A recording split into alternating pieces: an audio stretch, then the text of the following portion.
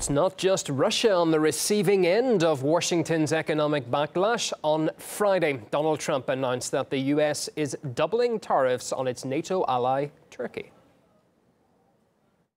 I have just authorised a doubling of tariffs on steel and aluminium with respect to Turkey as their currency. The Turkish lira slides rapidly downward against our very strong dollar. Aluminium will now be 20% and steel 50%. Our relations with Turkey are not good at this time. Well, that move sent Turkey's currency, the lira, into a nosedive, while President Erdogan has already said his country will not be drawn into an economic war. Change the euros, the dollars, and the gold that you're keeping beneath your pillows into lira at our banks. This is a domestic and national struggle. Yeah, not a good day for the lira. Its valuation has dropped to its worst level since 2014. It's now, in fact, worth half of what it was in 2017. The move follows two Turkish ministers being singled out for sanctions last week, while Ankara urged people to convert any US dollars to local currency. Okay, let's get into this further because joining us live on the programme now is Steve Keen. Steve's a professor of economics at London's Kingston University. Welcome to the programme. How sustainable is it for America to continue on this economic campaign with sanctions? Because there are a lot of battles on many fronts here. Well, this is a fairly trivial one, though, and I think it's got almost nothing to do with um, uh, with the trade situation between the two countries because when you look at how much of Turkish exports are actually iron, steel, and aluminium, it's less than 5% of their exports. Uh, they import just about as much in the same category as they export, and America is one of their smaller trading partners. So I think it's really got to do with uh, with the religious battle that's going on between two very similar personalities, Trump and Erdogan, uh, where Trump wants an American pastor released from jail who was one of the pastors who Erdogan claims was involved in the coup against him. So this is, I think, this is a peripheral battle, but of course it's destroying the lira at the same time. Yeah, we will just get into what's happening in Turkey in a moment, but just focusing for, for a few moments on America, how how will the sanctions impact on the dollar, if at all? We did see a little bit earlier the Dow Jones take a dip, but is the market just reacting to Trump's tweet is the is the Dow okay? I think that well, unfortunately, the dollar's not only okay; it's rising, mm. uh, and because the American economy is in a, a, mini boom right now, it's partly caused by Trump's policies as well. Because as insane as they might appear in overall uh, individual elements of them, it's basically a massive fiscal boost to the economy, uh, and in some ways, even the tariffs are going to force American corporations to invest in the ways they haven't done in the past while the Federal Reserve is still uh, hasn't yet unwound quantitative easing, which which slowly and very ineffectively did boost American the American economy as well. So the American economy can cope with this quite comfortably. Thanks very much. Unfortunately. Yeah, if the uh, diplomatic relations therefore between Turkey, the US don't settle soon, how bad do you think, Steve, it could get for Ankara from an economic perspective here?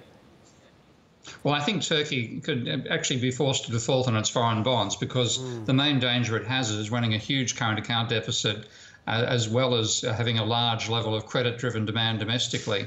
Now, both those can drive very rapidly, and it might also uh, not so much be what happens in Turkey that matters, but what happens in Europe, because a large part of those loans have been made to uh, Turkish borrowers by, by French in particular, by the looks of it, French and Italian banks. Now, if some of those start going bankrupt, mm. uh, then the real pressure on Donald Trump to stop this could come from Europe and not from Turkey. Uh, just expanding on, on, that, in your opinion, what kind of measures do you think countries can take to, to make themselves perhaps less dependent on the US dollar? Well, I think the moves that have been made by China to try to make the renminbi into a reserve currency are part of it. But I would really like to see the countries, the emerging countries of the world in particular, unite around the idea of doing what Keynes wanted to do way back at Bretton Woods in the first place, and that's not allow a national currency to be the reserve currency for the planet, but make up one, which the Keynes called the Bancor, and run that out of the International Monetary Fund in proportion to the size of domestic economies. We would not have anything like the chaos that we have today, nor the power of the United States financial sector if Keynes's ideas had been followed.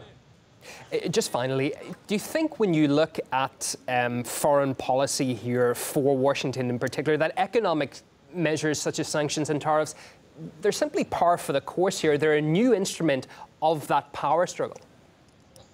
Yeah, and because it's you got a new president in charge, who actually likes causing chaos and likes making people upset because then guess what they talk about him, and that's the most important thing to Donald Trump. So we're really caught up in something much more political than we are economic wars right here. And of course, as I said, it comes back to that the pastor that uh, has been jailed by Erdogan.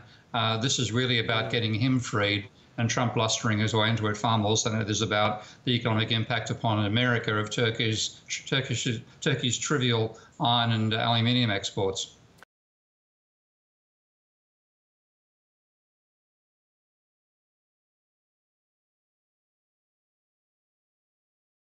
actually be forced to default on its foreign bonds because mm. the main danger it has is running a huge current account deficit uh, as well as having a large level of credit driven demand domestically. Now, both those can dry up very rapidly, and it might also uh, not so much be what happens in Turkey that matters, but what happens in Europe because a large part of those loans have been made to uh, Turkish borrowers by, by French, in particular, by the looks of it, French and Italian banks. Now, if some of those start going bankrupt, mm. uh, then the real pressure on Donald Trump to stop this could come from Europe and not from Turkey. Uh, just expanding on, on that, in your opinion, what kind of measures do you think countries can take to, to make themselves perhaps less dependent on the US dollar? Well, I think the moves that have been made by China to try to make the renminbi into a reserve currency are part of it. But I would really like to see the countries, the emerging countries of the world, struggle. Yeah, not a good day for the lira. Its valuation has dropped to its worst level since 2014. It's now, in fact, worth half of what it was in 2017. The move follows two Turkish ministers being singled out for sanctions last week, while Ankara urged people to convert any US dollars to local currency. Okay, let's get into this further because joining us live on the programme now is Steve Keen. Steve's a professor of economics at London's Kingston University. Welcome to the programme.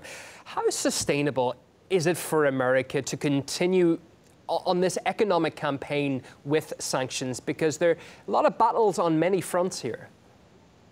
Well, this is a fairly trivial one, though, and I think it's got almost nothing to do with. Um, uh, with the trade situation between the two countries, because when you look at how I think that, well, unfortunately, the dollar's not only okay, it's rising. Mm. Uh, and because the American economy is in a, a, mini boom right now. It's partly caused by Trump's policies as well, because as insane as they might appear in overall uh, individual elements of them, it's basically a massive fiscal boost to the economy.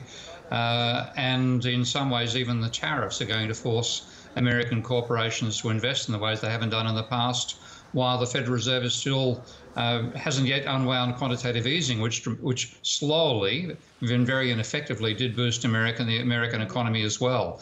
So the American economy can cope with this quite comfortably. Thanks very much. Unfortunately. Yeah, if the uh, diplomatic relations there for between Turkey the US don't settle soon, how bad do you think, Steve, it could get for Ankara from an economic perspective here?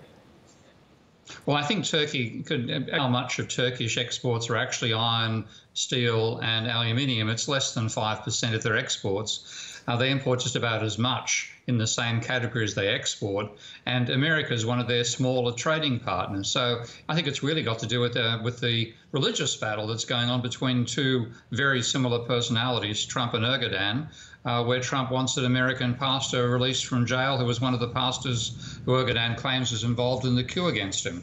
So this is, I think, this is a peripheral battle, but of course it's destroying the lira at the same time.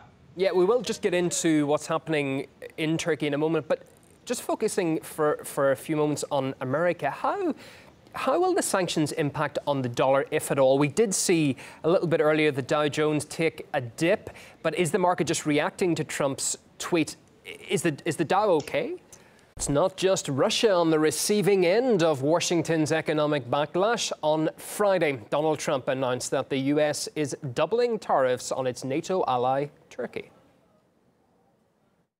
I have just authorised a doubling of tariffs on steel and aluminium with respect to Turkey as their currency, the Turkish lira, slides rapidly downward against our very strong dollar. Aluminium will now be 20% and steel 50%. Our relations with Turkey are not good at this time. Well, that move sent Turkey's currency, the lira, into a nosedive, while President Erdogan has already said his country will not be drawn into an economic war. Hiç endişe etmeyin. Change the euros, the dollars, and the gold that you're keeping beneath your pillows into lira at our banks. This is a domestic and national